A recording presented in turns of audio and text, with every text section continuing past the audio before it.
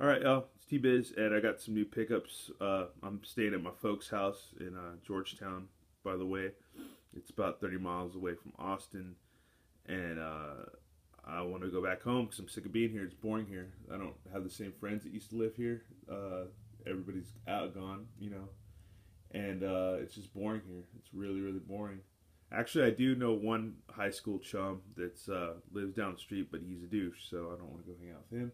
But anyhow, um, anyhow, I'm just uh, just really want to go home. And uh, another note too is uh, me and Chris played um, disc golf yesterday, and it really wore me out. My feet are killing me. I need new shoes. Um, yeah, we went and played a really long course in this town called Round Rock.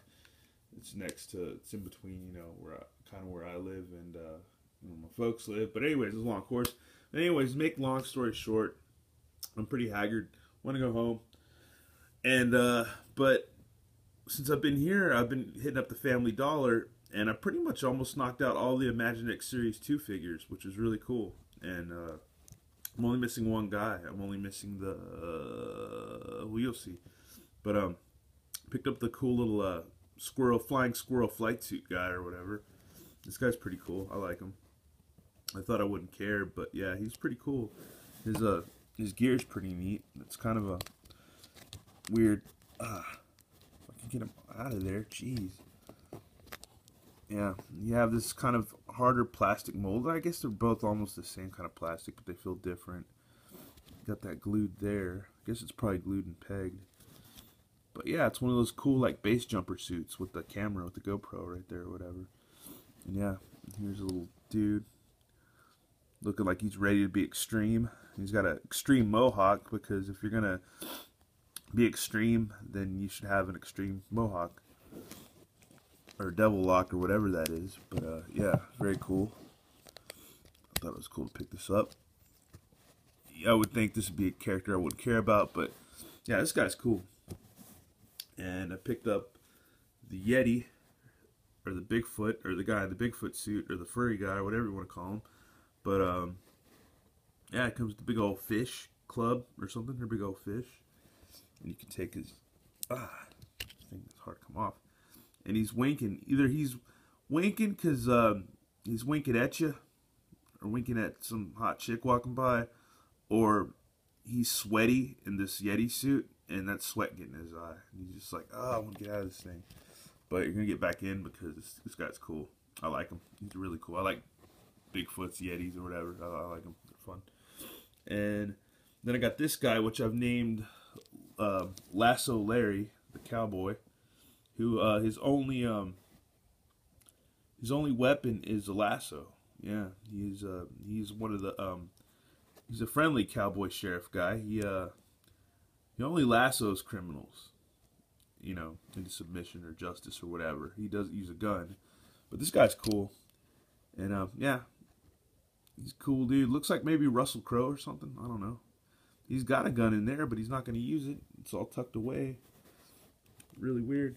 But um, but I found another cool thing you could do is you could put, since this is kind of almost the same color as the lavender uh, muscle shirt as the skeleton guy, you can have yourself a, a what you call it, um, a skeleton sheriff. So that's pretty cool. It's pretty neat. Ready to blast some dudes with his old musket rifle. It's pretty nifty. So yeah, I was stoked to get this guy. I was stoked that I got all these guys and no extras. Sucks that I didn't find extras because I told Starner if I found him another, uh, what you call it, another, uh, uh, another steampunk guy, pick it up for him. But no, I did. I didn't find one. Maybe on my, I might cop the bus tomorrow and go cruising around some of the dollar stores and see if I can find any um, when I go back to Austin. But uh, I've got the caveman dude. This guy is really cool. I like him a lot. I, I think ever since I saw Vampire's video, I didn't know he was a, a blind bag figure for a long time, but but at first seeing him on Vampire's video, I was like, oh, this guy's cool. I thought he came with the set or something, but uh, no, he doesn't. He's you know in the series, but yeah, he's got a funny face, real funny face. But yeah, it's cool, cool nonetheless. I like this guy. He's awesome. He's awesome sauce. He comes with the spear, very cool. And a lot of these guys have the same, like him and the Yeti have the same kind of weird little, weird little like, I don't know, Nestle Crunch Bar type sculpt or whatever on their gear, which is kind of weird, weird texture. And then I got this guy because I know a bunch of people, a bunch of homies love this dude, and I was kind of just like ah whatever, but he's not bad. He's kind of cool. It's a Frankenstein. It's a big old Frankenstein feet. The the um, riveted shoes. He's got his electro pack or whatever. I forget what you call those. But yeah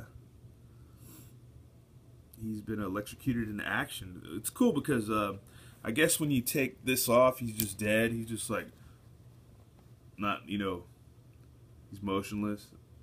But when you add this killer pack on, he's just like, uh, he's uh, he's alive and ready to, uh, somewhat alive or reanimated, and ready to go be Frankenstein, ready to go uh, do what Frankenstein's do. Um, and yeah, very very cool. Nice little sculpt.